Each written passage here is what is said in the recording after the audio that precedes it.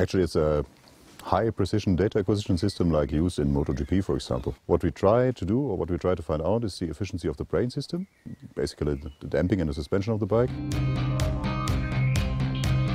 First we have accelerators. You can see the forces. It's, it's Newton, maybe you remember from school. Acceleration by, by mass is, is, is a force.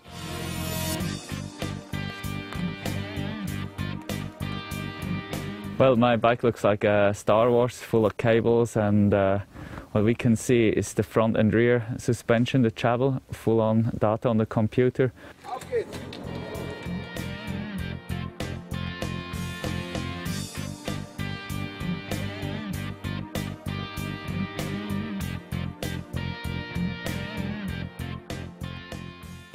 Okay, for the next round, we're testing again fully open in the rear and in the front. Making sure the wattage is set at zero and the GPS sensor has a signal. Very good.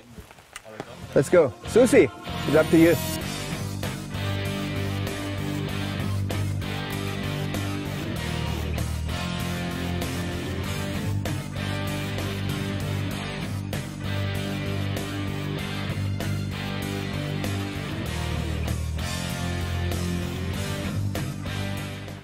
Okay, you see that?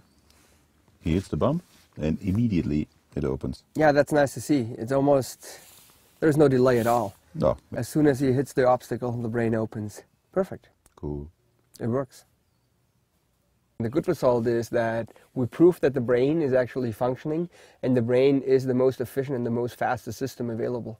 We had the big advantage over the hardtail that we had more traction, better bump absorption, um, less fatigue, and uh, the benefit over a full open system was that, especially going up the pavement, um, he's faster and in his brain it feels faster.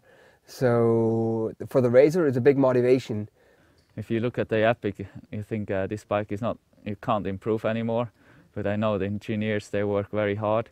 Also together with us, the race team, that we, uh, the next few years, we're gonna be a step ahead again. There's always new materials coming out, new ideas. We are talking a lot.